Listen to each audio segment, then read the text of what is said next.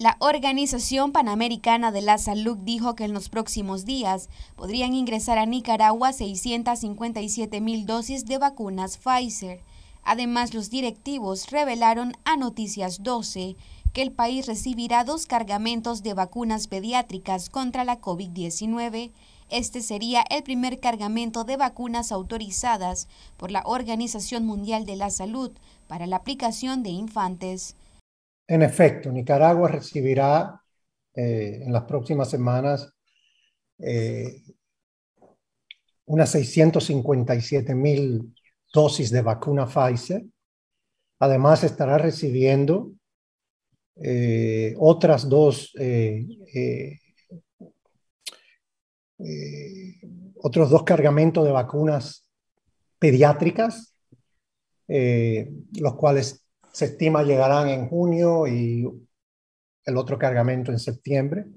O sea que eh, Nicaragua está trabajando y está recibiendo, eh, va a recibir dichas vacunas.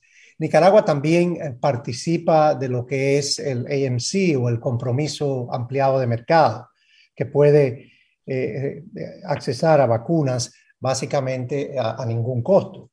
Entonces, eh, eh, eh, por ese lado no hay problema y Nicaragua está, recibirá en los próximos días ese cargamento de vacunas que ya está en camino. Siempre en temas de salud, la OPS confirmó 230 casos de viruela del mono en la región de las Américas, misma que podría cambiar de nombre. Pregunta y sí sabemos que hay muchas preguntas que tienen que ver con la viruela de los simios que cuyo nombre será cambiado por la OMS.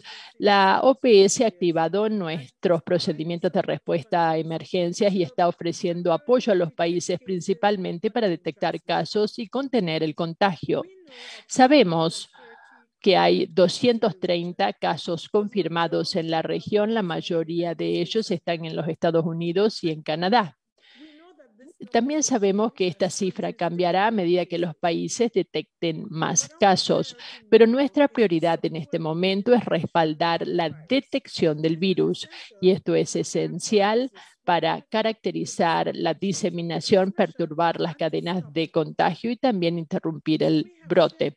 Hemos compartido pautas técnicas para los laboratorios que desconocían el virus. Para Noticias 12, Gabriela Solórzano.